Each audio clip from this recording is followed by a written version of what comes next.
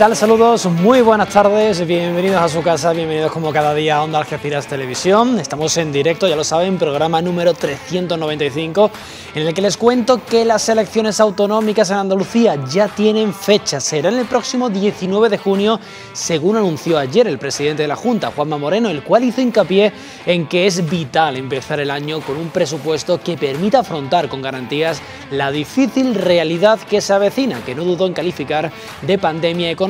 Insistió además en que la fecha es la que más le conviene a Andalucía y aseguró que votar en junio permitirá trabajar en julio y agosto en verano, de manera que antes de que termine precisamente el verano ya esté constituido el nuevo Parlamento y formado el nuevo Gobierno de Andalucía. Asimismo, el presidente también quiso hacer balance de sus cuatro años de gobierno al frente de la Junta de Andalucía y tras resaltar que ha sido una de las legislaturas más complicadas, en gran medida por la pandemia del COVID, afirmó que gran parte de los objetivos que se marcó los ha cumplido. Celebrar elecciones en otoño impide que Andalucía arranque el 1 de enero de 2023 con un presupuesto aprobado. Eso solo se puede conseguir celebrando las elecciones autonómicas en el mes de junio.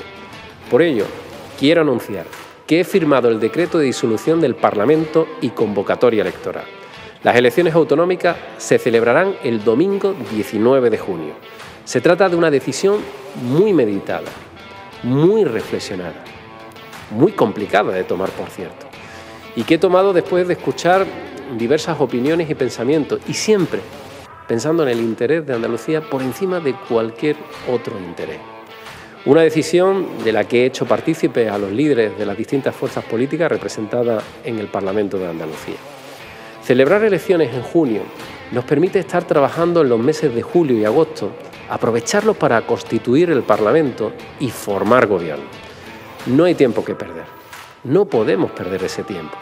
Así, además, el gobierno que salga de la urnas tendrá tiempo suficiente para elaborar los presupuestos de 2023 unos presupuestos muy necesarios porque nos van a servir para afrontar con mayores garantías los tiempos difíciles que vivimos. Estoy convencido de que la estabilidad política ha tenido mucho que ver en el impulso que ha sentido Andalucía en estos casi cuatro años, que ha dejado de ser un foco de malas noticias para convertirse en un modelo bien visto desde fuera. Nuestra economía crece más que la media de España. Batimos récords de exportaciones en todos los ámbitos. Hablamos de tú a tú a Cataluña, hablamos de tú a tú a Madrid y a otras comunidades en estos ámbitos. Recibimos más inversión extranjera que la media de España. Somos la comunidad con más autónomos y lo hemos conseguido en esta legislatura por encima de Cataluña, por encima de Madrid y del País Vasco. Y finalmente, me he sentido el presidente de todos los andaluces. Así me he querido comportar, intentando practicar la política siempre con equilibrio y con moderación con mucho respeto al adversario, gobernando para todos por igual, generando confianza en la sociedad, complicidad y normalidad democrática. Pues señores, a continuación hablamos de temas noticias como siempre aquí en Onda Televisión. Comenzamos.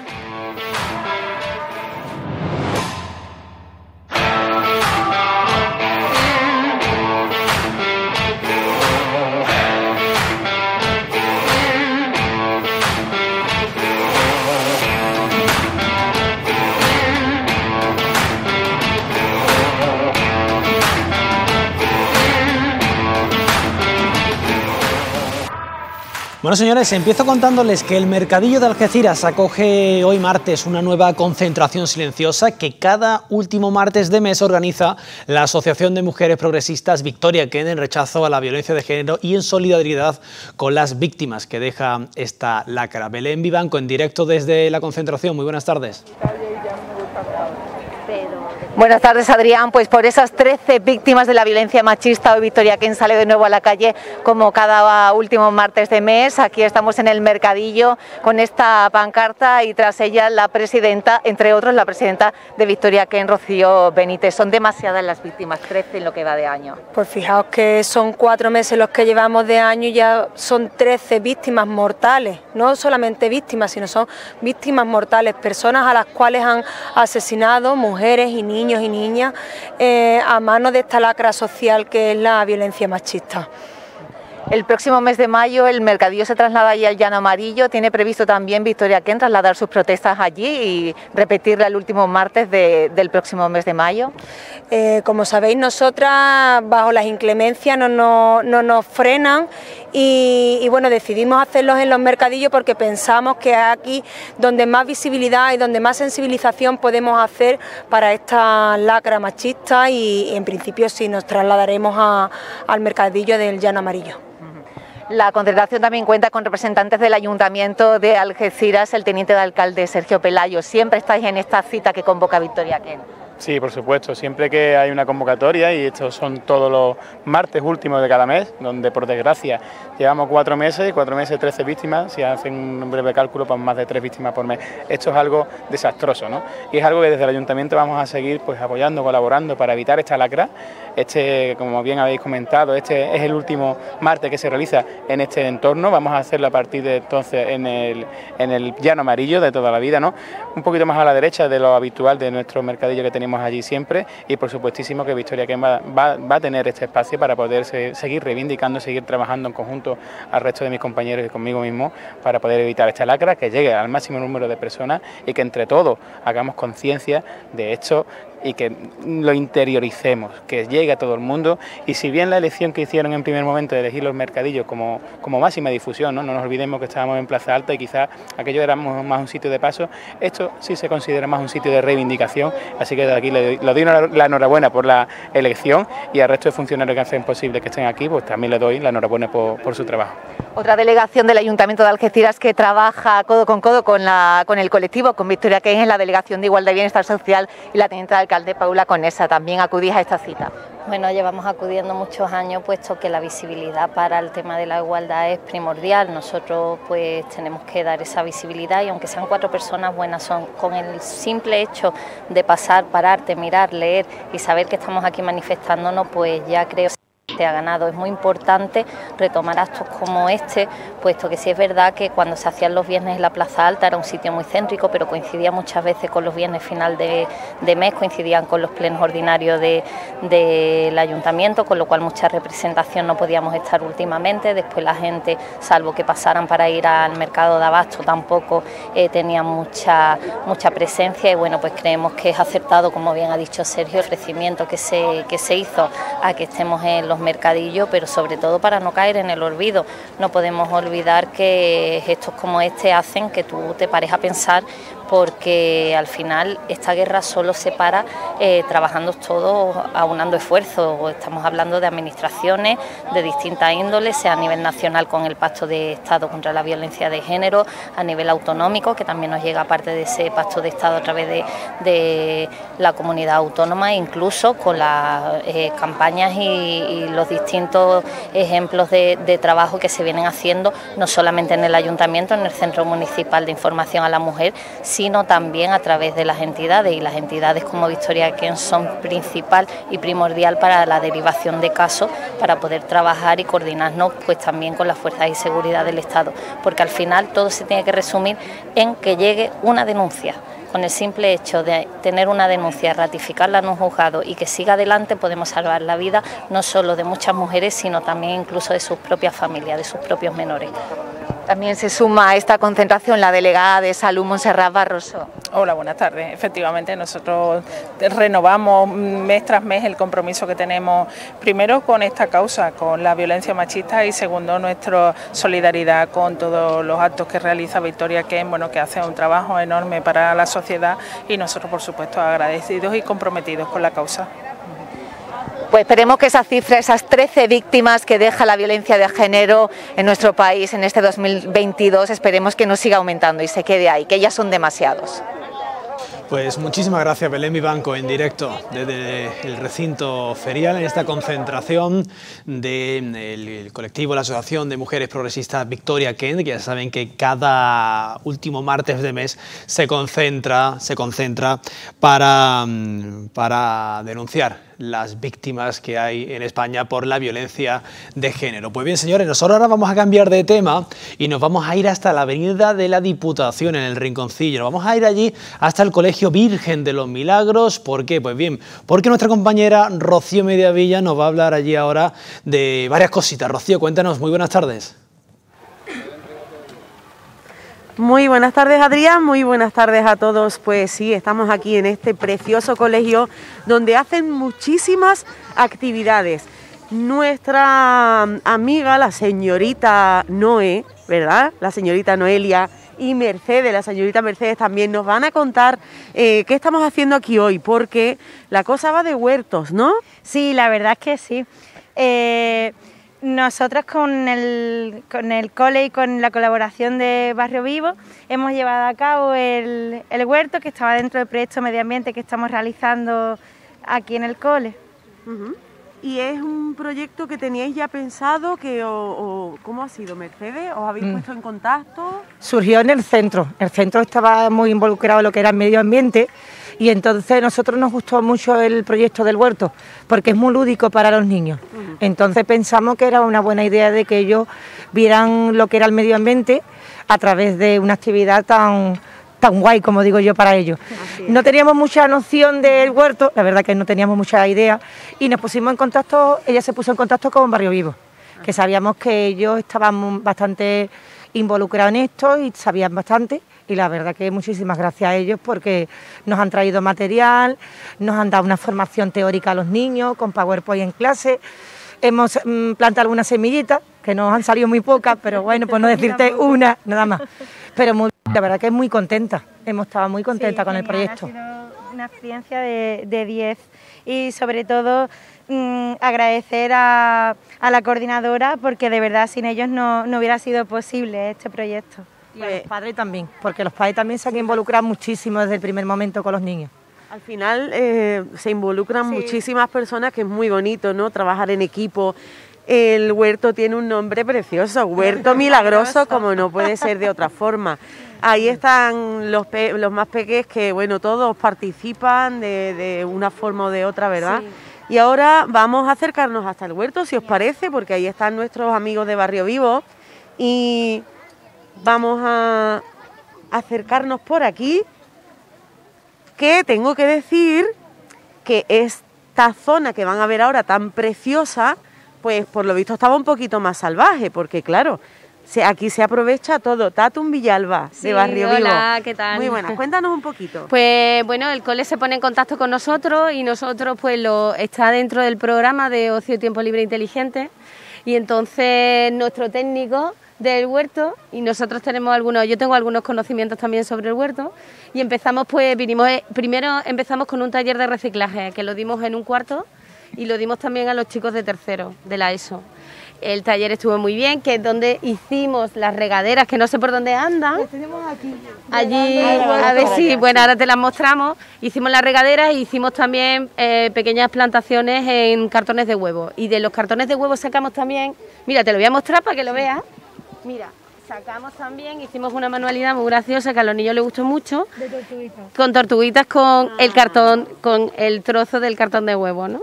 Y hicimos esta manualidad que a los niños les gustó mucho. Y también le dimos la vuelta y este material se puede utilizar incluso para plantar en la tierra. Nosotros plantamos aquí la semilla y el mismo cartón entra dentro.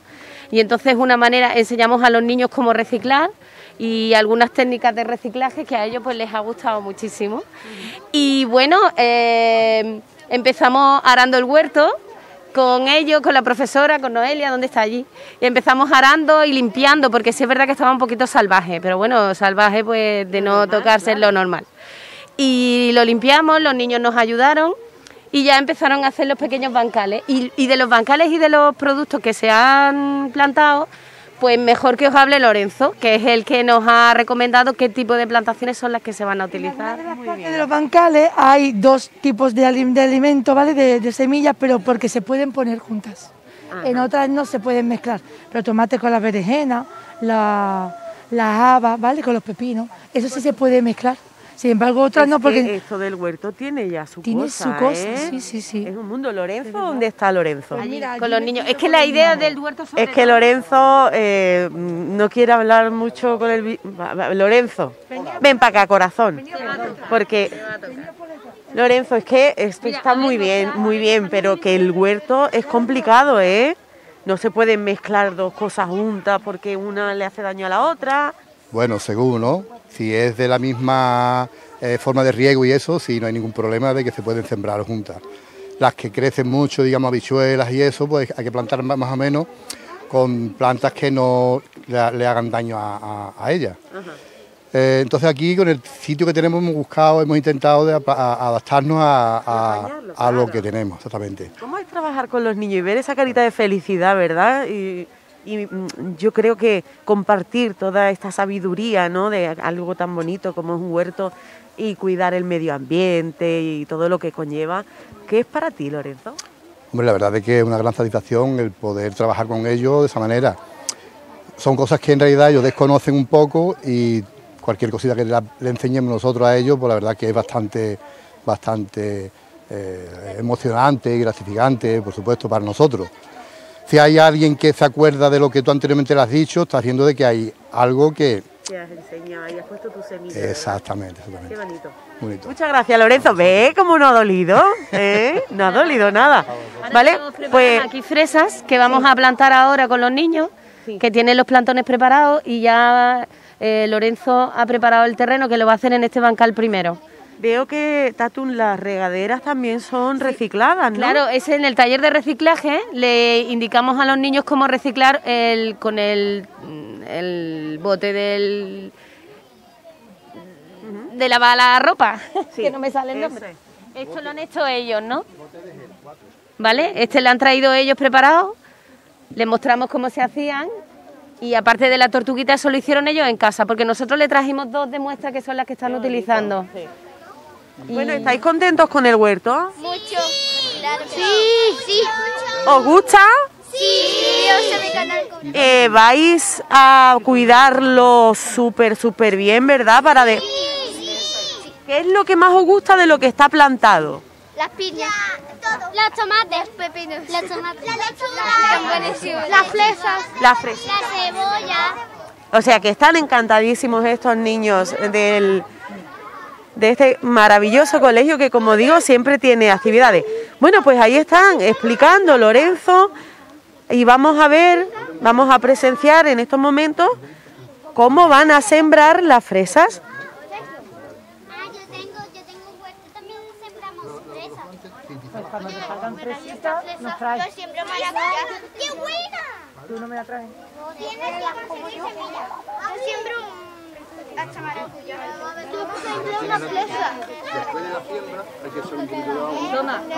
Ahí está indicándole Lorenzo que después de la siembra siempre hay que echar un poquito de agua alrededor.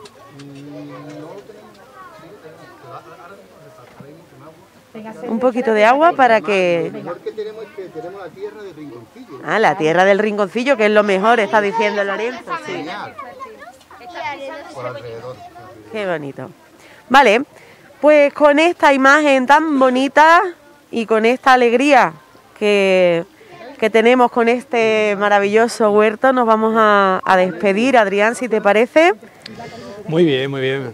Muchísimas gracias, Rocío, por esta imagen tan bonita que nos llega desde el colegio Nuestra Señora de los Milagros en el, en el rinconcillo, con este huerto que han montado allí todos los alumnos y alumnas de este maravilloso cole del rinconcillo. Pues bien, en un ratito volveremos con nuestra compañera Rocío Mediavilla, en directo también desde la Plaza Alta, de la Feria del Libro, el epicentro de la cultura que está siendo eh, la Plaza Alta desde el otro día y hasta el próximo domingo. Pero antes de irnos con la compañera Rocío, que le dé tiempo de llegar del Colegio Virgen de, los Milagros, del Colegio Nuestra Señora de los Milagros, perdón, hasta, eh, hasta la Plaza Alta, les cuento que eh, otro sitio también emblemático de nuestra ciudad, de nuestro pueblo, como es el Parque María Cristina, acoge mañana miércoles y también el próximo jueves las primeras jornadas de orientación educativa Expoeduca de 2022, en las que está prevista la visita organizada de más de 2.000 estudiantes de la ciudad que recorrerán el recinto en horario de mañana para conocer la oferta de formación profesional que tiene la ciudad, tanto en formación profesional como en grados, en carreras universitarias. Elsa Melcón, cuéntanos, a falta de 24 horas para el comienzo de esta jornada, ¿qué imagen presenta el Parque María Cristina? Muy buenas tardes.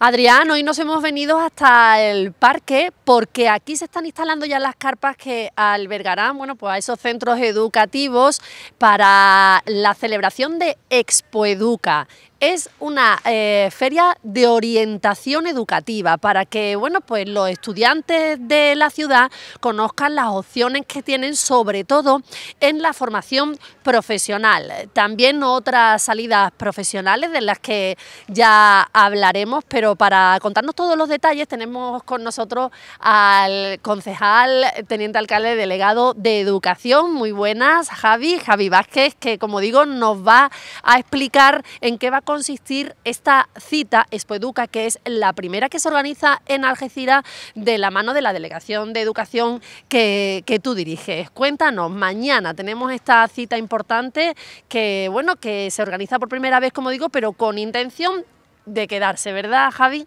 Sí, la verdad es que es una ilusión, estamos todos muy ilusionados, tanto la comunidad educativa que tenía muchas ganas, llevábamos muchos años persiguiendo eh, poder tener estas jornadas en, este espacio o en otro. Esa ha sido quizá la, mayor complicación, buscar un, espacio idóneo para poder celebrar esta jornada y es una cuestión que afrontamos con mucha ilusión, con muchas ganas evidentemente de, crecer. Este año estamos siendo humildes, estamos yendo poco a poco, es la primera edición, vamos solamente con la oferta de Algeciras para en años eh, posteriores seguir creciendo. Pero este año la oferta de Algeciras es muy extensa, es de una gran calidad y aquí todo el que se acerque al parque mañana y pasado pues va a poder encontrar eh, en Expo Educa todos los ciclos formativos de la ciudad, la oferta también universitaria por parte de la Universidad de Cádiz y de la Universidad Nacional La Distancia y luego eh, las fuerzas de seguridad y de emergencia pues eh, para quien quiera opositar, quien quiera acceder a la carrera militar, pues también va a poder encontrar aquí la información para poder llegar a, ese éxito académico. Aunque tenemos la oferta universitaria de la Universidad de Cádiz, también la UNED, si no tengo mal entendido, también estar aquí representada.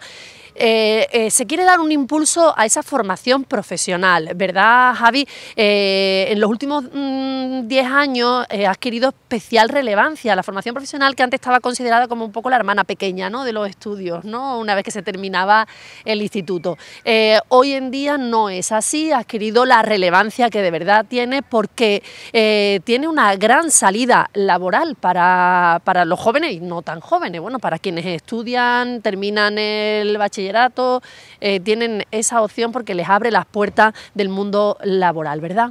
Sí, la formación profesional ha ido creciendo después de también la reforma que se ha hecho por parte de la Administración, pero sobre todo por un proceso también de reforma por parte de la comunidad educativa, que ha sabido adaptarse a la nueva realidad.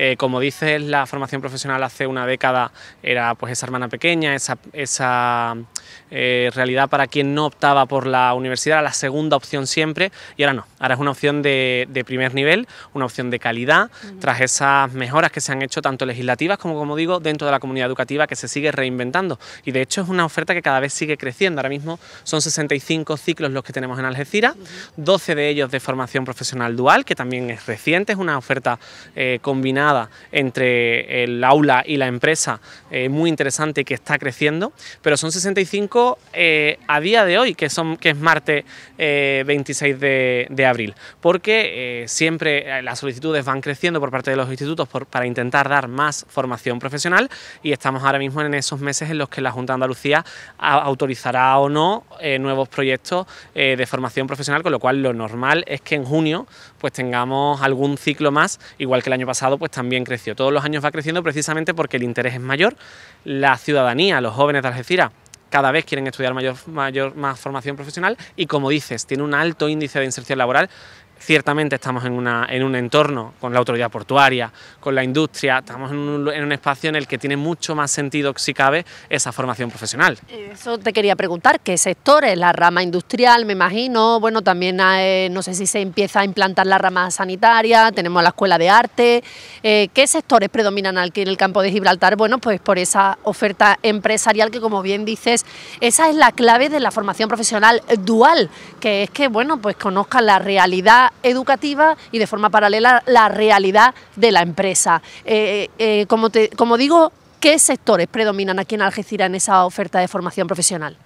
Bueno, como veis, eh, disculpad a los espectadores, pero está todos los institutos están montando y están trayendo las cosas y de ahí el, movimiento que tenemos. Pues la, oferta, evidentemente, la parte sociosanitaria siempre eh, es de, calidad, siempre ha tenido mucho éxito. Esta sí que trae mucha, mucho recorrido anterior a, este proceso de reforma y siempre ha, sido una de las partes más importantes que ha tenido la formación profesional, pero luego hay una parte muy relevante que es toda la parte de, soldadura, de carpintería, todo lo que son eh, trabajos y hay una rama cada vez más creciente, lógicamente el comercio internacional en nuestra ciudad, eh, toda la parte de administración, es decir, realmente eh, la parte buena es que tenemos un poquito de todo, es decir, que independientemente de lo que a ti te guste, si te gusta el diseño web, hay un ciclo aquí en Algeciras, si te gusta soldadura, pues hay un ciclo también en, el Ventura Morón, es decir, de todo hay un poquito, farmacia, que están ahora mismo montando los compañeros del Colegio San José Virgen de la Palma, de todo hay un poco, entonces el que independientemente de la rama que te guste, vas a poder encontrarla. Y la mayoría tienen un alto índice de, empleabilidad porque hace mucha falta este tipo de perfil de persona cualificada, ya con su eh, cualificación académica, que pueda incorporarse inmediatamente a la empresa. De todo un poco, pero de lo que se demanda en el campo de Gibraltar, que eh, de eso se trata y en eso consiste. Bueno, pues mañana tenemos eh, las puertas de Expoeduca abiertas, recuérdanos horario y qué otro otras actividades complementarias hay que también las hay, charlas motivacionales y demás. Recuérdanos un poco. Bueno, el parque va a estar abierto de 9 de la mañana a 2 de la tarde, tanto el miércoles como el jueves. Eso sí, por la tarde, mañana, vamos a tener también un horario especial de 4 a 7. Por las mañanas tenemos eh, las visitas concertadas con la con los institutos, porque evidentemente eh, está más enfocado a los estudiantes y son más de 2.000 los que van a pasar por aquí de forma concertada, pero la feria está abierta, quien quiera puede entrar en cualquier momento y, visitar los expositores. Y muy cerquita de aquí tenemos en el centro documental y en el edificio I+D de la eh, Fundación Campus Tecnológico esas charlas motivacionales por parte del puerto, por parte de eh, la Asociación de Grandes Industrias, por parte de la Cámara de Comercio y de otras administraciones que también esos institutos van a ir pasando por allí para acercarse un poco a, esa parte del empleo, del qué pasa después de la formación profesional. Yo creo que es una apuesta distinta e, e innovadora que estamos haciendo desde Algeciras y que además ha tenido un éxito rotundo porque ya hemos colgado el cartel de no hay entrada. Muy bien, pues eh, aquellos estudiantes que estén un poco perdidos, que no tengan claro qué quieren estudiar, que bueno, pues que vengan, que visiten esta feria de orientación Expo Educa porque aquí se lo van a dejar todo muy muy claro. Pero tenemos que hablar de más cositas, Javi. Eh, por un lado, este parque además eh, no va a parar de tener actividad porque, bueno, aunque no es de tu competencia, es del área de juventud, estas mismas carpas se aprovecharán un día después de Expoeduca para coger el salón manga durante todo el fin de semana y después diverciencia. O sea que aquí no se para en este parque. No, además, una de las máximas, sabéis que por parte de, este ayuntamiento es que los recursos que usemos le saquemos el máximo provecho posible. De ahí que estas carpas, como bien dice el compañero Fran Arango, pues las va a poner eh, espectacularmente bien, porque ya estuvieron aquí los compañeros, los chavales que montan el Salón Manga, y esto va a ser una maravilla el fin de semana eh, con ese Salón Manga. Y luego va a estar aquí Peque Diverciencia, Diverciencia, los mayores, digamos, secundaria y bachillerato, van a seguir como siempre en la Plaza Alta, pero los pequeños que iban al hospital militar y que estaban un poco enclaustrados y con, bueno, con la pandemia no nos parecía meterlos a todos allí en ese, en ese patio, van a estar aquí el 4 y 5 de mayo, el, miércoles y jueves de la semana que viene, con lo cual eh, el parque no para. Y además anuncio que el parque no va a parar porque hay muchas cosas en agenda que se irán descubriendo y que y el parque al final es el centro de nuestra ciudad, es el, punto neurálgico de la vida de, toda la ciudad.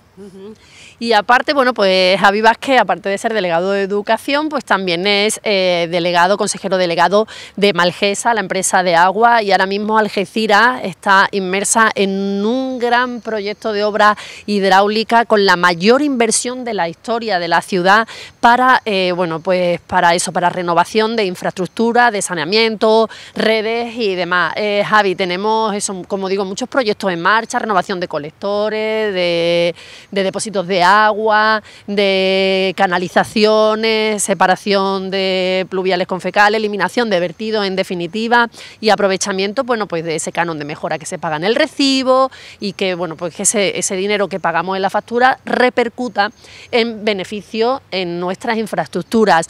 Eh, dentro de esos proyectos eh, destaca lo que se va a hacer en el marco de ese gran proyecto del lago marítimo. Hoy precisamente hablamos de que bueno, se ha conocido ya el proyecto del edificio, del conjunto de edificios que construirá la autoridad portuaria en ese extremo norte del eh, llano amarillo, en ese gran proyecto del lago marítimo y allí eh, tiene mucho que decir, como digo, eh, Malgesa, la Junta de Andalucía, en materia de saneamiento y de eliminación de vertidos, ¿verdad, Javi? Sí, la verdad es que estamos en el momento ahora mismo de redactar todos esos proyectos. Prácticamente uno de los puntos más importantes que todo el mundo conoce es el, río de la Miel, el desvío norte, que llega justo a la esquinita de, de la rotonda de la de María y ahí el proyecto está prácticamente redactado, queda revisar por parte de los técnicos municipales que tendrán que incorporar las eh, modificaciones que consideren o que hagan falta y que van a generar pues nuevas redes de saneamiento en la bajadilla y en la reconquista y van a también proceder después a la limpieza de las represas que hay en el encauzamiento, con lo cual ese proyecto está ya muy a puntito de, de caramelo de poder estar redactado. Y luego estamos también la Junta de Andalucía está a punto también de adjudicar la redacción de proyectos de todo lo que van a hacer ellos en La Concha, en Los Ladrillos, en Virgen del Carmen. Ahí van a hacer ellos una serie de actuaciones respecto al lago marítimo y esos proyectos pues empezarán a redactarse muy, muy, muy, en muy poquito tiempo porque la Junta está a puntito ya de firmar el contrato con la empresa adjudicataria. Y nosotros seguimos trabajando en, en otros órdenes. Desde luego estamos con el proceso para poder ese tanque anticontaminación que vamos a hacer en la playa de los ladrillos. Estamos ahora mismo preparando la documentación para poder hacer el estudio geotécnico, es decir, para ver cómo es el suelo, para ver evidentemente cómo podemos dimensionar ese tanque. Y por otro lado en la concha estamos con un proyecto importante que eh, vamos a velocidad de crucero porque vamos con la subvención del Ministerio a Argisa y ahí lo que vamos a hacer concretamente es interceptar todas esas aguas eh, que se recogen de forma separativa en la ermita y en San José pero que luego cruzan el acceso norte eh, mezcladas y por tanto llegan al bombeo mezclada, pues lo que vamos a hacer es interceptar todas esas redes de pluviales para que crucen el acceso norte de forma separada y por tanto esas aguas de lluvia después de pasar por un filtro vayan directamente al mar y en cambio las aguas eh, residuales pues vayan eh, como están yendo ahora mismo al bombeo y vayan a la depuradora pero que no eh, generemos colapsos en el bombeo que obliguen a, a, aliviar al mar por esas aguas de lluvia mezcladas. Con lo cual son un montón de proyectos es un poco complejo eh, organizar técnicamente todo esto, ya no es una cuestión económica, al final hemos llamado a la puerta a todas las administraciones, hemos intentado que todas arrimen el hombro y debo decir que todas están,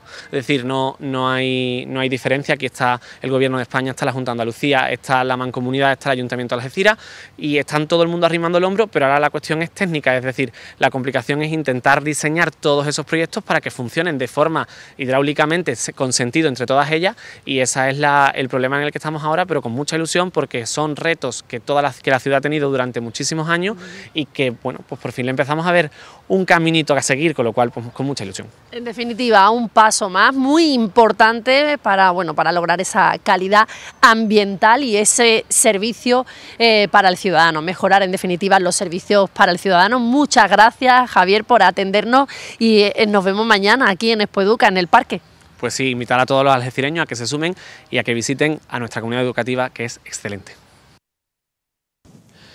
Pues muchísimas gracias a nuestra compañera Elsa Melcón. En un ratito vamos a hablar de más noticias, de más temitas, de más actualidad, como siempre aquí en Onda Algeciras Televisión, pero antes una pequeña pausa de publicidad. Hasta ahora.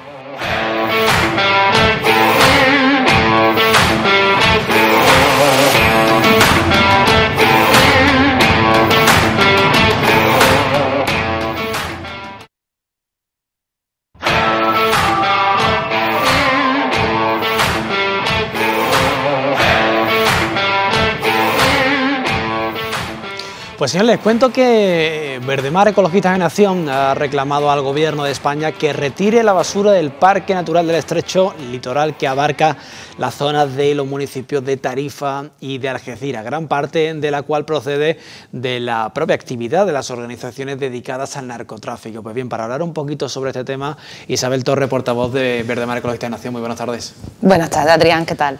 Bueno, Isabel, eh, eh, ¿tanta basura genera el, narcotráfico? Porque eh, con el titular, como lo he comentado ahora mismo, mucha gente se habrá quedado con la misma pregunta, ¿no?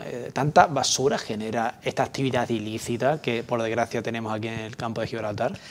Mm, Sí, no solo es el tema del narcotráfico, pero sí, sí que genera. De hecho, nosotros hemos hecho fotos de varias narcolanchas, bidones de estos de, de lo que es del gasoil, pero es que ya no solo se acumula eso, es que se acumula también basura que llega desde África, de los buques que tenemos que transitan tanto, de la basura que la gente cuando va a echar el día tiran también por la zona, que es un cúmulo de muchas basuras. ¿Cuál es la situación ahora mismo del litoral? Vamos a, hablar- vamos a poner el foco aquí en el campo de Gibraltar. ¿Que ¿Cuál es? Sí, la situación. Pues la verdad que está bastante, da pena verlo. ¿Sí? Da pena verlo. El otro día estuvieron algunos de los compañeros que hicieron fotos y es que hay gente que las criaturas van, echan el día, e- están viendo la basura que hay, se ponen a recogerla, pero claro, tú ahora eso, ¿cómo te lo traes hasta arriba, hasta donde tienes eh, el biombo de la basura, cerca, me parece que es cerca del faro, por esa zona de ahí, no pueden tirar de esos kilos de basura. Entonces, claro, ellos van guardando, o sea, o los van acumulando y las van dejando en un, en un punto, pero claro, eso cada vez va creciendo y se está convirtiendo en un vertedero, en un parque natural. Eh, ¿Cuáles son las zonas más castigadas, por así decirlo? Más castigado, Faro, Calarena, toda esa zona de ahí es la que más... mm, La zona de Calarena es muy fácil de llegar con las narconanchas. Llegan, de seguida se meten y después las abandonan allí. Entonces esas son las zonas más castigadas que nosotros hemos visto. Eh, supongo que será una situación que aparte eh, va, va a peor, obviamente, porque eh, también llega el verano, llega el buen tiempo, la gente disfruta, como no, de nuestros parajes naturales y uno de nuestros atractivos pues son nuestras playas, obviamente. Pero claro, eh, si tenemos esta contaminación, porque al fin y al cabo es una contaminación que tenemos en nuestras playas, en nuestras costas, la gente o se da la vuelta o se va a otro lado. Sí, así es. Pero el problema, por ejemplo, de las narcolanchas es que se quedan ahí meses y Perennes. meses. Claro, porque hasta que eso empiecen a, a desaparecer, bueno, a desaparecer no, a ir destruyéndose, eh, ¿con qué? Con los temporales, con la lluvia, es que eso no se deshace así como así. con la lluvia se lo lleva a otro lado, pero eso eh, pasarán cientos y cientos de años. Y que eso- seguir ahí. Por eso nosotros mm, hemos denunciado y pedimos al, al Gobierno de España que junto con la Junta de Andalucía busquen una solución. Pero el gobierno, ¿por qué? Porque son los que tienen la competencia en este. Claro. Costas pertenece a, a España y la Junta de Andalucía creo que lleva el tema de los parques naturales. Entonces tienen que ser los dos los que se pongan de acuerdo que la única manera de poder llegar ahí es mediante una barcaza.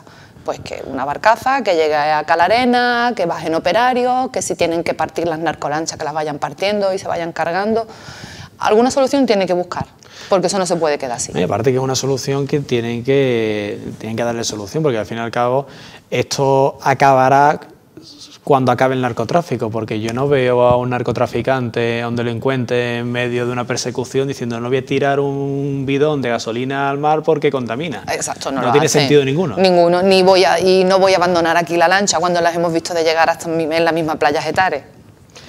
Es raro, y es raro y, y preocupa eso, con la llegada del buen tiempo, con la llegada del verano. Eh, a, ver qué, a ver qué ocurre, ¿no? Una- Porque- Sí, una solución tienen que buscarle, porque esto no, no se puede quedar así, porque ahora mismo no sé si son tres, cuatro, cinco narcolanchas lo que hay.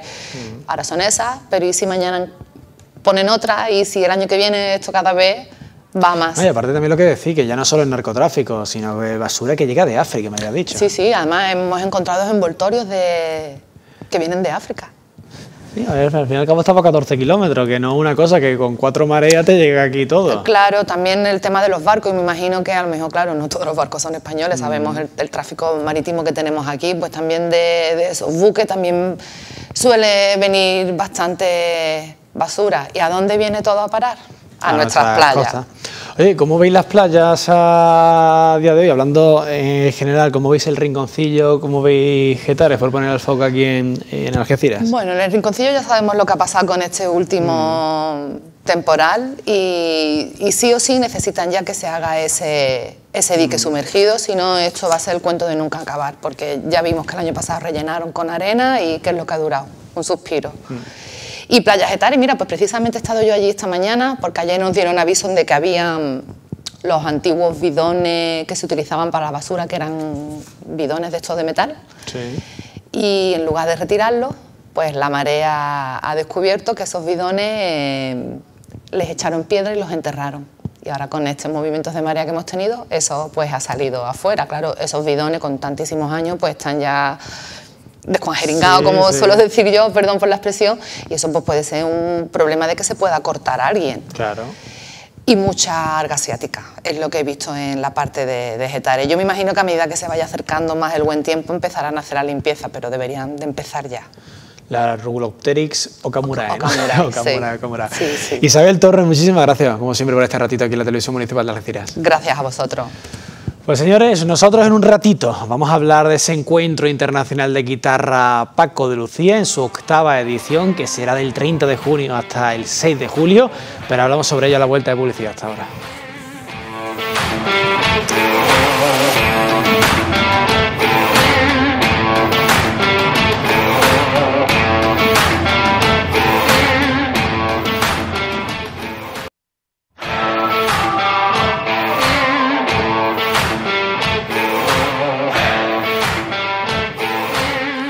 Bueno, señores, quédense con esta fecha que les voy a decir, 30 de junio. ¿Y por qué?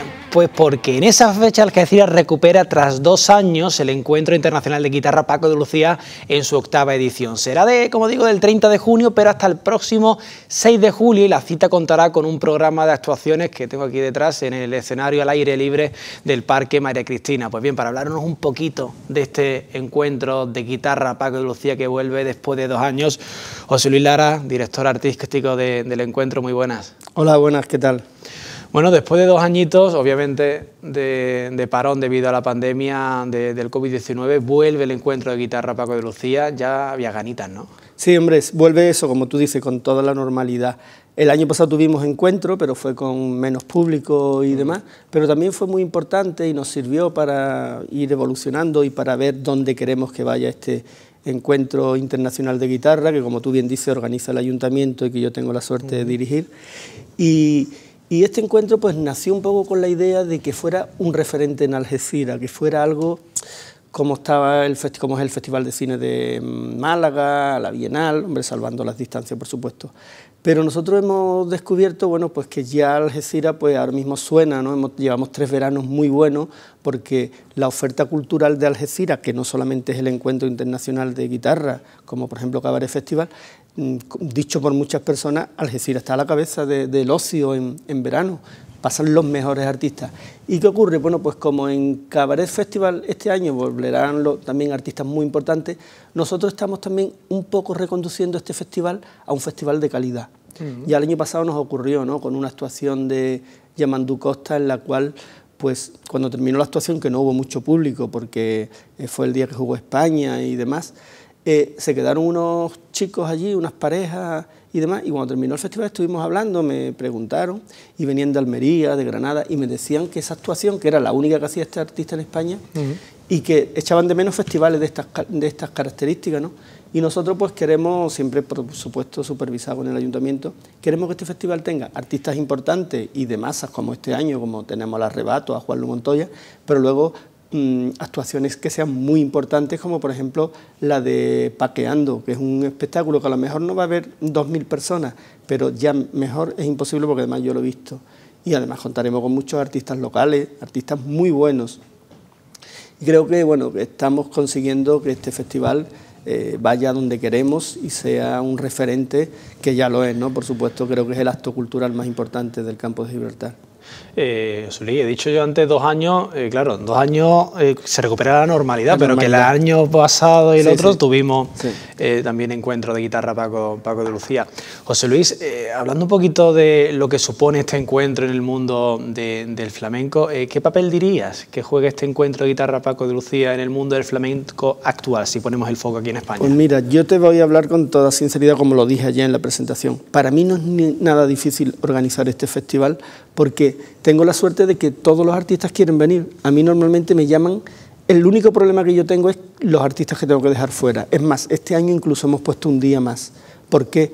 Porque es que tanta la oferta que tenemos. Normalmente a ti nadie te llama ningún artista para actuar en la Plaza de Toro de Algeciras, pero para el encuentro quieren estar, pero no ni por mí ni por nada, porque es que es Paco. Paco de Lucía. Es que Paco de Lucía y, su familia, como yo dije ayer también, digo, es que la familia Sánchez, que incluye a Paco, a Pepe, a Ramón, a Antonio, a María y sobre todo al patriarca, su padre, es la familia más importante que ha dado el flamenco en los últimos 50 o 60 años. Es que no solamente es Paco, es que su padre fue el director artístico de la casa Philip de disco y por, por ahí pasó todo el mundo.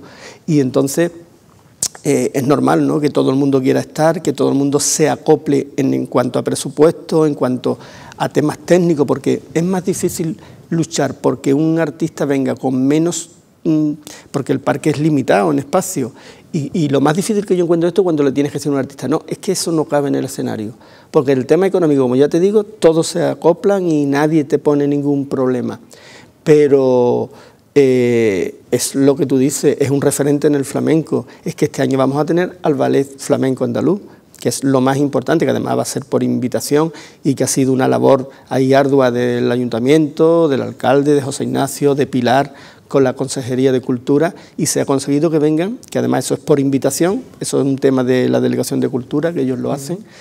y ya te digo, Creo que el encuentro ahora mismo es un referente porque hay, hay festivales más importantes, la Bienal es más importante porque su presupuesto son 25 veces este, pero no, es, 25, no es 25 veces más importante ni mucho menos y además es bianual, es, es cada dos años. Así que yo creo que, y sin ser pretencioso, creo que esto es uno de los festivales más importantes que hay ahora mismo en España. José Luis, te escuchaba el otro día, bueno, ayer en la presentación del, encuentro, hablar obviamente de esto, ¿no? que la familia eh, Sánchez ha sido pues, una de las más importantes, de, la más importante. Del, del, mundo del flamenco en los últimos, en los últimos 50, 60 años, pero también te, te escuchaba decir en la presentación que Algeciras nunca había tenido una programación de flamenco tan importante, tan densa como la tiene a día de hoy. Es que es, que es verdad, yo a mí me han dado las gracias. Ay, gracias, digo, no, yo digo la verdad. Algeciras ha habido años donde no ha habido ni un solo acto de flamenco y nadie ha dicho nada. ¿Eso es así? Sí, sí, te puedo decir, lo que pasa es que no quiero ni temas de políticos ni nada ha pasado y ha pasado y no, ha habido nada. El alcalde este cuando llegó se preocupó mucho, José Ignacio, me preguntó a la, semana de ser alcalde, José Luis, ¿qué ves que podemos mejorar? Claro, yo no le hablé ni de la mm, limpieza ni nada porque no eran mis temas, digo, el flamenco. Y me dijo que iba a apostar. Y yo, sinceramente, pues lo puse un poco entre paréntesis. Y digo, bueno, este hombre, con lo que tiene ahora mismo, pero es que es verdad, es que en Algeciras, mira, este año podemos terminar con 40 actos flamencos en este año entre la sociedad del Cante Grande, los artistas, entre lo que hace el ayuntamiento, entre eh, además de la iniciativa, privada. Pero es que además Algeciras nunca ha tenido tantos artistas como ahora. Es que hay 40 o 50 artistas en, en Algeciras y en el Campus Libertad. Bueno, antes estaba Paco, que bueno, Paco era es lo máximo.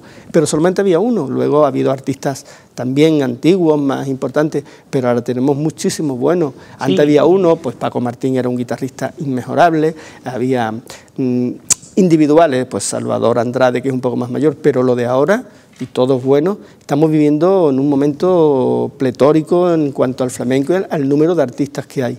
Y yo lo dije, y pues hay que seguir apostando, igual que también le dije a la Junta de Andalucía, pues que que tienen que seguir apostando por llevar al flamenco a las escuelas. Esa es la base. Llegan, si llevamos al flamenco a las escuelas, el flamenco tendrá vida continua y será mm, imperecedero. Hay otra cosita, José Luis, que también dijiste y que te agradezco, que dijiste que eh, creo también cuando hablaste con la responsable de la Junta eh, en, en la presentación, que le dijiste que la televisión pública de Andalucía, en este caso Canal Sur, también debería apostar más por el flamenco. Y, y dijiste que tiene que tomar como referencia lo que se hace en esta casa, en Onda Algeciras, con el programa que tenemos aquí de flamenco, que es El Colmado, es que, es, verdad. que es uno de los programas de flamenco más importantes de Andalucía, que lo dijiste. Es que es verdad, es que me mandó Juan Casal esta mañana, hombre, gracias, y le, dije, le he dicho que no me tiene que dar las gracias, que dije una verdad. Es que mira, el Canal Sur Televisión, que es una televisión pública, mm, es que no tiene ninguna, ningún programa de flamenco, ninguno. Mira, Canal Sur mm, tiene un, tiene un histórico de flamenco tiene grabaciones que es que yo creo que ellos no son conscientes de lo que valdría eso, porque al principio sí apostó por, por, el flamenco, cuando Manuel Curao, pero luego no se hace nada. Y hacer un programa flamenco no es caro, yo lo dije, digo, mira, en Onda Algeciras se está haciendo para mí uno de los programas mejores que hay, junto con uno que se hace en Jerez de Juan Garrido y José Galvez. Y son programas, y eso es muy bueno, y tiene mucha audiencia.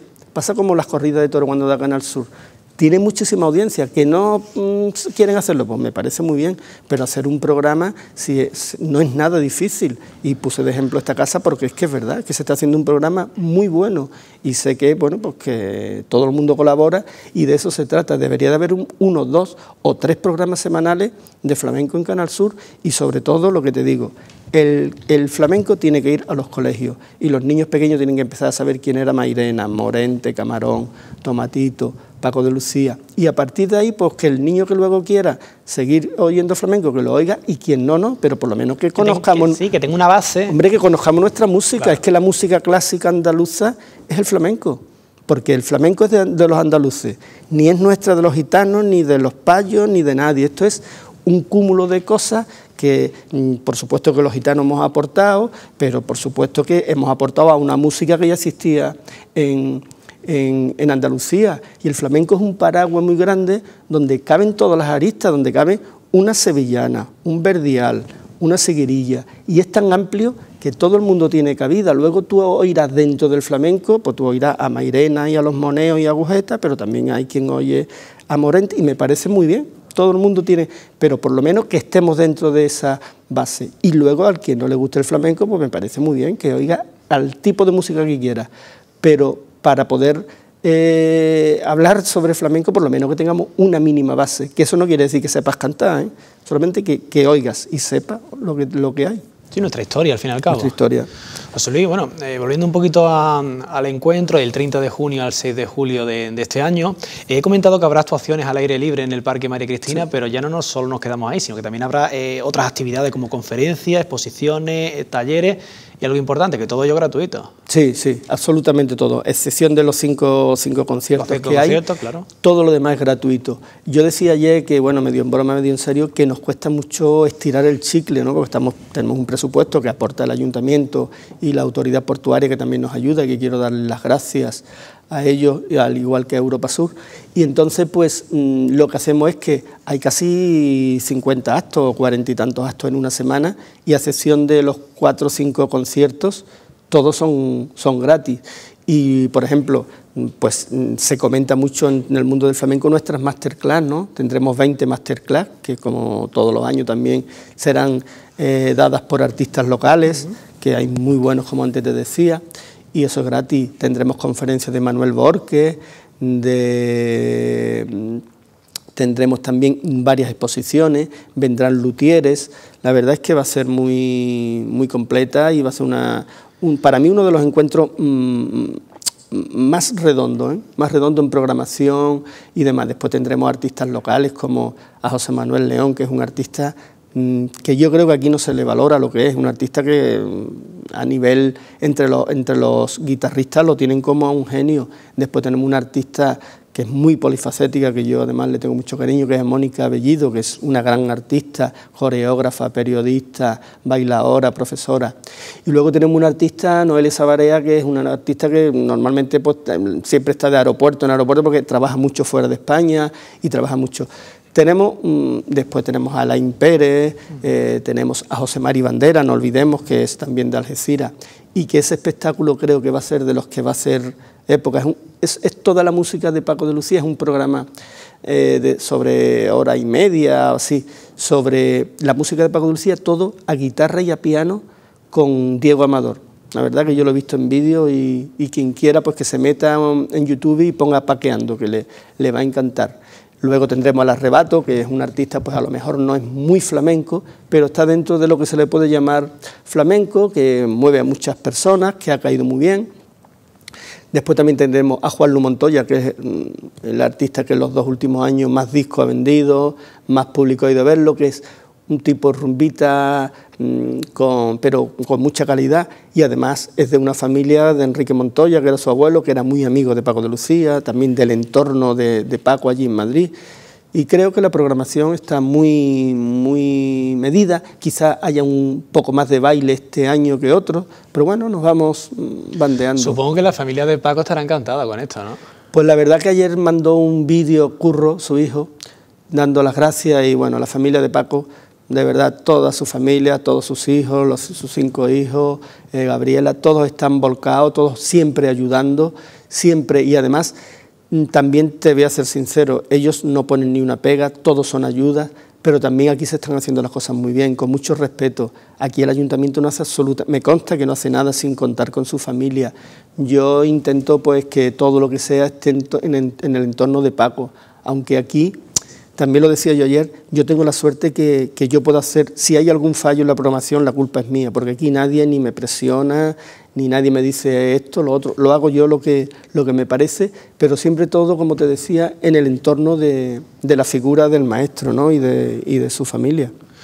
Pues José Luis Lara, director artístico del encuentro de Guitarra Paco de Lucía, muchísimas gracias por este ratito aquí en Onda de Televisión. Muy bien, muchas gracias a vosotros. Muchas gracias. Pues bien, señores, nosotros nos vamos a ir ahora hasta la Plaza Alta, lugar en el que se celebra la Feria del Libro hasta el próximo domingo. Ayer ya pues, vieron a través de esta casa, donde la televisión, pudimos conocer a algunos protagonistas como ese escribano, ¿no? ese copista que plasmaba nuestro nombre en marcapáginas, que fue una auténtica pasada. Pero es que hoy vamos a volver otra vez a la Feria del Libro, el epicentro de la cultura algecireña durante estos días. Rocío Mediavilla, cuéntanos con quién te encuentras hoy, hoy martes. Muy buenas tardes de nuevo. Muy buenas tardes de nuevo. Pues ahora mismo estoy con Juana. Juana que es un encanto, es escritora de Algeciras y es que cada día van cambiando. Entonces yo tengo que venir todos los días porque hay que hablar con eh, nuestras escritoras, que es que las tenemos aquí, además, que tienen un currículum. Oye, ¿desde cuándo estás escribiendo, Juana? Pues mira, hola. Llevo escribiendo, bueno, desde que era pequeña hacía ya mis pinitos, pero el primer curso de escritura lo hice en el año 2000. Y fue un, curso que entonces hacía por fascículo con Planeta. Y luego he hecho, ahora acabo de hacer un máster de novela con José de la Rosa, que es un escritor sevillano, es de romántica. Tienes más de 30 historias seleccionadas en concursos de diversos géneros, algunas publicadas en antologías. Eh, ¿Cómo se hace esto? A ver. Esto pues teniendo inquietud por escribir y claro, apuntándote a los concursos vas viendo diferentes géneros. Entonces pues lo mismo hace ciencia ficción, que terror, que romántica y ya vas eligiendo. ¿Qué pasa? Que con los años, claro, ya llevo mucho tiempo, vas aprendiendo y te las van seleccionando. Algunas han ganado, otras han quedado segundas, pero bueno, ¿Qué supone para ti cuando tú ganas eh, o quedas así? Subidón. Subidón da mucha alegría, porque estás viendo que el trabajo que estás haciendo va por buen camino. Ten en cuenta que, entre comillas, yo soy autodidacta. Eso es complicado, no... claro. Entonces, bueno, soy mamá también, entonces tengo que compaginar, otras tareas con la escritura. No siempre estoy escribiendo, pero le quito todos esos ratitos que tengo libres, se los doy a la escritura. Eh, los escritores dicen, hablan de la musa. ¿Tú también la tienes? Yo creo que no. Yo creo que hay que trabajar y bastante. Lo único que pasa es que, que te fijas en detalles que antes no te fijabas y entonces eso es lo que tú plasmas luego en las historias. Por ejemplo, yo ahora estoy apuntada a Patrimonio de Algeciras en el Colegio Juan Ramón Cepes, en el, Juan Ramón Jiménez, y, y, ahí yo voy aprendiendo cosas de Algeciras que luego me están saliendo en los relatos. Claro leer mucho, estudiar, prepararse y yo creo que todo eso es un compendio. suma, claro. Claro, para que venga esa musa de la que hablan es, un compendio que tienes que estar atento también. Tú eres escritora de relatos, de... De cuentos, de novelas, microrelatos. Voy. Y aquí, bueno, pues hemos eh, tenido en toda la mañana, ya mismo hay que ir a recoger al peque, ¿no? Ya sí, ya hay que ir al cole. Pero ¿dónde podemos encontrar tus libros, Juana? Pues mira, por ahora los que tengo en Amazon son El destino de Verónica y Enamorarse no está de moda. Tengo proyectos con editoriales, pero bueno, están ahí un poco en el aire todavía. Y los demás los tengo yo. Ya sería cuestión de ponerse en, contacto conmigo. ¿Podemos poner tu nombre? Sí, mi nombre, mi nombre sale se van a Juana María Andrade, Navarro. Navarro y podemos conseguir. en redes sociales también estoy, por si alguien quiere preguntarme o algo, también puede escribirme. Perfecto, muchísimas gracias, Juana. Te dejamos porque vamos a darnos un paseíto antes de que cierren. Eh, muchísimas gracias, eh, que te vaya muy bien. Eh, vamos a darnos un paseíto yo, como Miguel es joven, ¿eh? pues yo quiero... Pobre mío, cuidado a la... Venga, vamos, Miguel. Como es joven, yo a él siempre lo pongo en estas cosas de dar paseo. No es que mis compañeros, los demás, sean muy mayores, pero no es lo mismo. A Miguel me gusta a mí. Mira, aquí tenemos, por ejemplo, vamos a hacer un paseito rápido a Propadi. Todos esos libros que ustedes están viendo son a un euro, ¿verdad? a un euro, de uno a tres euros. De 1 a 3 euros. Son libros que están, eh, bueno, arregladitos. ¿Cómo se, ¿Cómo se llama eso? Que ustedes lo hacéis súper bien. Tenéis un taller y, y lo hacéis todo para dejar el libro nuevo. Tenemos una iniciativa que se llama Iniciativa Libro Solidario, que consiste en recibir donaciones de simpatizantes, socios, gente que no conoce a través de las redes sociales. No, nos hace llegar libros y con, el- con la venta de esos libros a precio asequible, como, como habéis dicho, de 1 a 3, 4 euros, sufragamos actividades de la entidad. Estas actividades son eh, ocio accesible, eh, fisioterapia, algunos cursos de formación y vamos, como digo, actualmente los libros, la venta de libros solidarios es nuestra principal fuente de ingresos. Sois maravillosos, la verdad. Yo tuve la oportunidad de, de estar allí con ellos y ya saben, si pueden venir a la feria del libro y adquirir alguno de estos libros, pues perfecto. Y si no, tienen su página y lo pueden hacer a través de internet. Si me permite, eh, actualmente el proyecto ha recibido un impulso de la Fundación CEPSA, que ha tenido bien patrocinarnos el proyecto desde este año, lo cual nos ha permitido eh, mm, darle un impulso profesional y abrir una página de web de que hemos abierto recientemente, Libros Solidarios Apropiados.0, y allí pues, pueden encontrar, si no todo, gran parte del catálogo de, de libros que tenemos. Muchísimas gracias por atendernos. Pues la Fundación CEPSA ha hecho posible que puedan eh, hacer esa página y nosotros podemos entrar y comprar ese libro porque además todo, todo lo que, como bien ha dicho él, todos los gastos que tienen pues son sufragados gracias a, a esta iniciativa. Hasta luego. Muchas gracias, muchas gracias. Bueno, pues vamos a seguir paseando porque en esta feria del libro de Algeciras encontramos de todo. ¡Ay! ¡Ay! Perdón, perdón, perdón. Aquí está nuestro amigo que es, bueno, es un crack, es una maravilla. Pero aquí tengo a, a una chica que es que no he podido venir antes porque siempre está lleno y es que esto se vende solo, ¿no? Pues sí, la verdad es que hay mucha afición aquí en Algeciras al tema manga, al cómic a- y, a, bueno, y a todas las figuras, a coleccionarlas de- del manga. Eh, ¿De dónde eres tú? Somos de aquí de Algeciras. Estamos en el Saladillo, en la calle Federico García Lorca. Y bueno, ahora mismo lo que es el local, eh, aunque nos van a encontrar lo que es en Librería Dori, pronto, en una semana, ya tendremos lo que es la sección, porque estamos obrando, tendremos la- ya la sección y la tienda se llama Ulduar, que hacemos también venta online y bueno, vendemos a toda España desde hace dos años, pero físicamente mm, encontraréis la tienda ya abierta en breve. Ulduar. Ulduar. Muy bien, pues aquí ven ustedes qué maravilla para todos los que son muchos, ¿verdad? Como tú has dicho antes, son muchas las personas que se acercan y es que no he podido de verdad, no he podido hablar con ella antes por eso, porque hay mucha afición aquí. En Algeciras, en el campo de Gibraltar y como ha dicho ella, pues venden a toda España. Así que tienen que tener calidad, ¿eh? Mira que yo entiendo un poquito de esto. Muy bien, pues vamos a seguir paseando. Muchas gracias. Que vaya muy bien todo, ¿eh? Paso por aquí con permiso. Y como decía, adiós amigos. vamos a, dar este paseíto eh, para rematar ya nuestra faena, si te parece. Y aparte, que hace un día maravilloso porque no hace ni frío ni calor. Vamos a eso es. Mira qué rapidito, vámonos. Es que es que es una maravilla. Aquí tenemos menta que tiene sobre todo literatura infantil, que es una maravilla. Y aquí tenemos la Asociación Benéfica Reyes Magos 98, que tiene todos sus libritos a unos precios, a unos precios, Paco.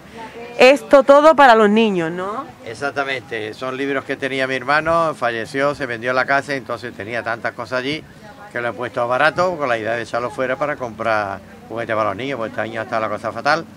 Solamente dos empresas nos han dado dinero y hemos repartido nada más que 1.900 juguetes, cuando otros años hemos llegado hasta 5.000, 3.000. Y ha sido una pena. Y entonces aquí está todo uno otro día, pues siempre cae algo y, y para esto, para los niños. Pues que vaya muy bien la venta, corazón. Muchísimas gracias a ustedes. Venga, gracias. Venga, hasta luego. Bueno, pues tenemos de todo, la verdad que, que en esta Feria del Libro es para pasear eh, con tranquilidad, con... Aquí tenemos libros a 2 euros, a 1 euro, a 0,75, es una maravilla, la verdad. Tenemos eso, que venir con tiempo, con, con tiempo como cuando usted va... Hombre, aquí está nuestro amigo Juan. Juan, ¿qué tienes tú aquí de todo, no? Lim- libros de Algeciras. Algeciras la tengo metida, Algeciras la tengo aquí metida en mi stand. Algeciras entera. Algeciras entera. ¿Qué tenemos, por ejemplo? Venga. Eh, el libro de Don Cristóbal Delgado, primera y segunda edición. El libro de Par de Martín Bueno, Renacer de Algeciras. eh, el libro mío. El libro mío, que lo he puesto al 50% en, en la feria del libro, en vez de 10, 5 euros. Voy a sacar una segunda edición que ya mismo saldrá. El, el libro tuyo, como tú dices, ¿qué, qué podemos encontrar? Pues en el libro mío puede encontrar personajes eh, de, Algeciras o que ha tenido que ver de Algeciras, pequeña biografía documentada con partida de nacimiento y partida de función. Eso, es- eso es lo importante que tiene el libro, porque yo no soy escritor, Ajá. yo soy recopilador de datos. Ese. Entonces, eh, yo cogí un libro y dice, Emilio Santa Cana, nació en 1918, y cojo otro libro y me sale que nació en 1920. ¿A cuál le hace tu caso? No le puede hacer caso a ninguno, porque en muchos libros hay fallos referentes al tema ese de partida de, de, nacimiento, de. Exactamente, a mí no, no cuadran los- los- los datos. Y para mí eso, hacer un libro y, y no cuadrar los datos es engañar a la gente. No está documentado. Juan, pues lo que, va- lo que vemos aquí es mucho Algeciras, mucho Algeciras, ¿verdad? Y del campo de Gibraltar también. Fotos, postales, de todo, ¿no? De todo, de todo. Todo relacionado con el campo de. Muy bien. Cualquier persona que quiera venir aquí a la feria del libro, se tiene que pasar por mi stand. Muy bien. Bueno, muchísimas gracias, Juan, y que se venda mucho. Bueno, pues yo creo que vamos a despedirnos aquí, eh, con este olor a Algeciras y al campo de Gibraltar, porque además es que sé que me tengo que ir ya, porque yo iba a seguir paseando, pero eh, si os parece volvemos mañana o pasado. Claro que sí, claro que sí, Rocío, muchísimas ¿Qué te gracias. parece a ti? Sí, por supuesto que sí, mañana y pasado y el viernes estamos allí con todos los autores y con todo el que quiera atendernos a los micrófonos de Andalucía Televisión en esta Feria del Libro 2022. Muchísimas gracias, Rocío. Lo dicho, mañana volvemos de nuevo contigo, pero nosotros, señores, abrimos la ventana del deporte en clave deportiva. Lo más importante, obviamente, de la semana es esa permanencia de UDEA en la Liga Les Plata para el año que viene también, después de imponerse el domingo pasado ante el Alginet Valenciano, ganó el partido de ida aquí en Algeciras y ganó también en el partido de vuelta en Valencia. Y vamos a hablar en un ratito con uno de sus jugadores más importantes, con su jugador estrella como es Miki Ortega, pero lo dicho, será la vuelta de publicidad hasta ahora.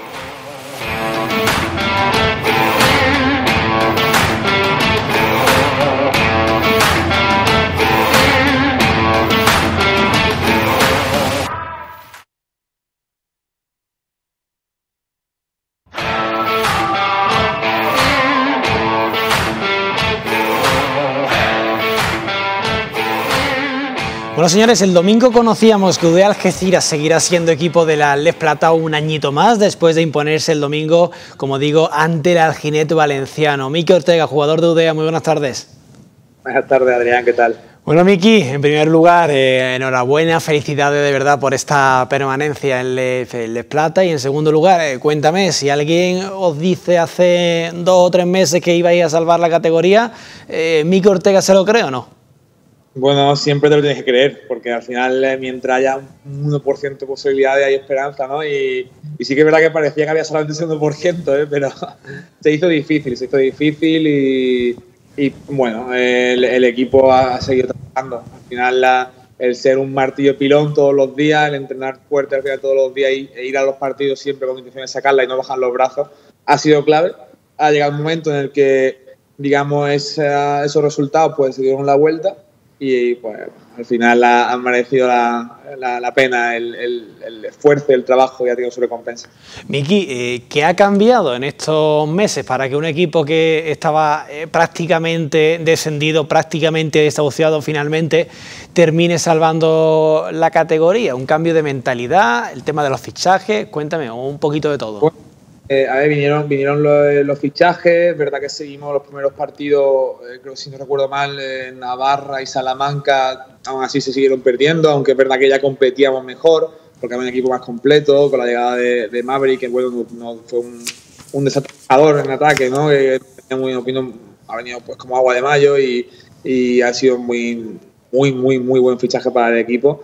Eh, sí que es verdad que, bueno, es verdad, pues vienen los jugadores, te tienes que acoplar, que ese, ese periodo que siempre hablamos, ¿no? De, de bueno, de, de, hacerse uno eh, a jugar con el otro y demás. Entonces, pues bueno, ese, ese, periodo fueron esas dos semanas, esos dos primeros partidos contra Pamplona y Salamanca, que tampoco pudimos sacar, pero sí que se notaron mejor las sensaciones. Y a partir de ahí, pues bueno, un resultado positivo, era lo que necesitábamos, lo que conseguimos en Morón, y, y todo cambió, ¿no? Eh, volvió la, la la senda de la victoria, esa dinámica positiva, esos dos, tres partidos consecutivos que ganamos y ya pues cada partido se compitió. Eh, se dieron también resultados pues que nos venían bien a nosotros para estar ahí, para salir del descenso directo y ya pues una vez la, en el play-out pues dos partidos a cada club y, y a morir los dos partidos. Ahora hablaremos un poquito de, del partido contra el Alginés, Miki, pero eh, a todo esto, eh, ante esta situación que se vivió hace dos o tres meses con lo que se vive ahora, eh, ¿qué os dice Javi Maya? ¿Qué os dice el míster? ¿Qué os dice la directiva? ¿Qué os dice el presidente? Cuéntame. Bueno, pues la gente está muy contenta, ¿no? Imagínate que al final pues, todos vivimos esto de manera diaria y de manera pues casi constante, ¿no? En el día a día y y estar las 24 horas pues, pues, con novedades que pasan en el club, noticias que pasan, eh, jugadores que se van, que vienen.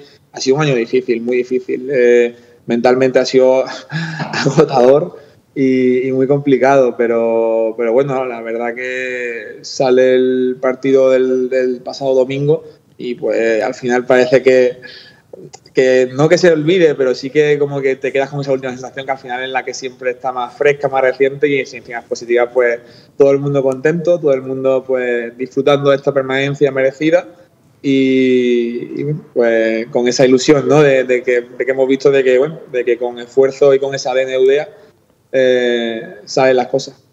Bueno, esperemos que la temporada que viene no, no sea así, ¿no? Que, que, se, que se mantenga la categoría desde el principio y que se luche por los puestos nobles de la clasificación. Y precisamente sobre eso te quiero preguntar, Miki, a tu juicio, ¿qué hay que cambiar para la temporada que viene para que esta eh, situación límite no vuelva a ocurrir?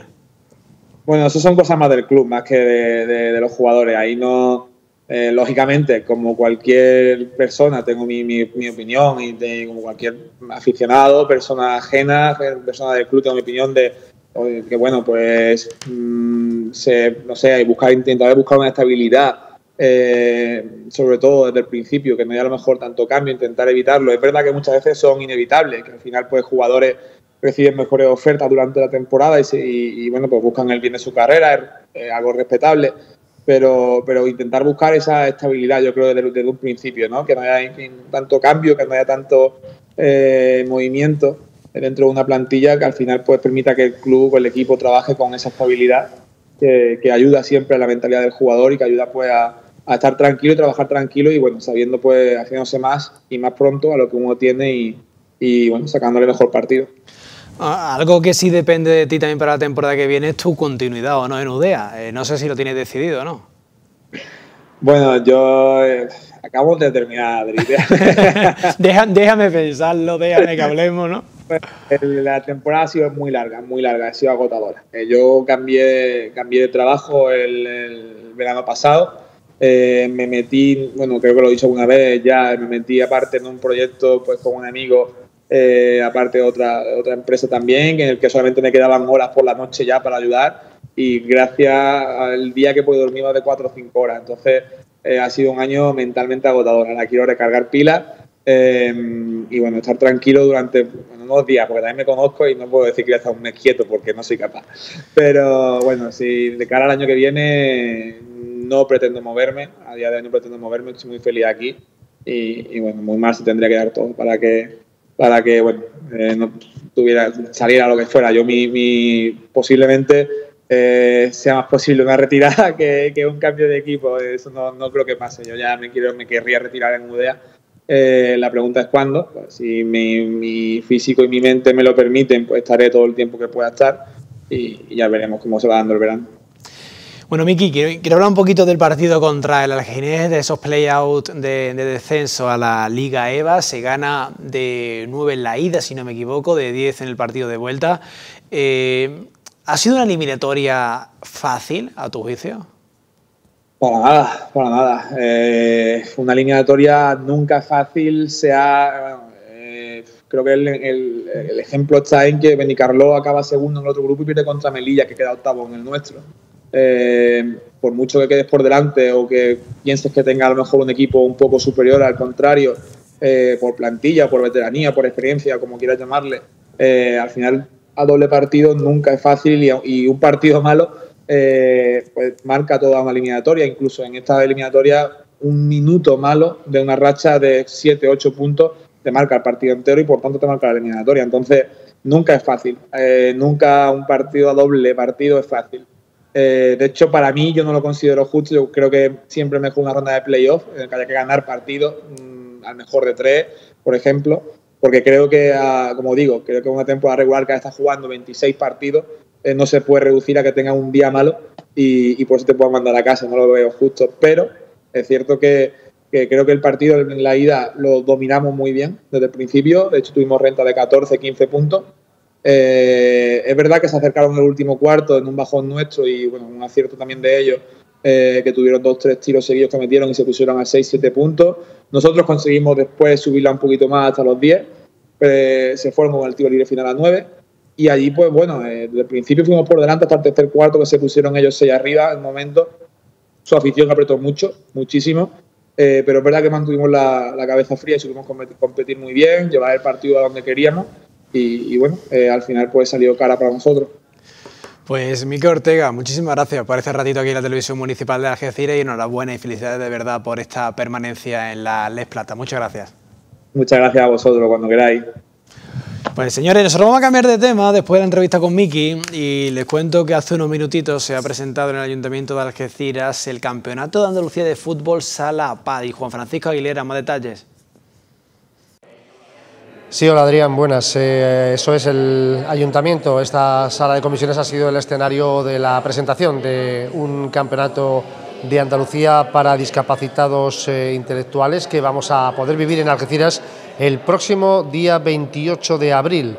Esto comenzará a las 16 eh, de la tarde, a las 4 de la tarde y hasta las 9 eh, y también el día 29 de 10 a 2 de la tarde, por lo tanto jueves y viernes tenemos por delante fútbol sala. Esto se ha presentado en el día de hoy con el Algeciras Club de Fútbol y Apadis como eh, principales referentes bajo el paraguas del Ayuntamiento de Algeciras con Javier Rodríguez Ross, que ha estado en la presentación. Nos quedamos con los detalles más importantes que se han dicho en esta rueda de prensa.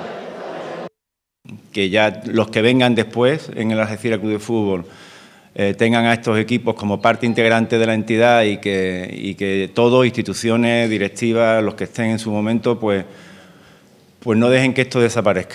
Eh, esto es tan bonito, esto de verdad, esto de verdad sí es el fútbol, esto es el deporte eh, y esto es la Algeciras Club de Fútbol. Que el deporte adaptado y el fútbol, y el fútbol adaptado esté teniendo la visibilidad que está teniendo ahora es gracias, aparte de la voluntad que pueda poner a Padi, que esto ya se da por hecho, a, que el Algeciras Club de Fútbol sin, de un tiempo para esta parte, eh, centrado en tres personas sobre todo, en Matías, Miguel Ángel García y el propietario de la agencia Cruz de Fútbol, Félix Sancho, han apostado sin ningún tipo de duda por este proyecto, es decir, por el Algeciras Club de Fútbol inclusivo.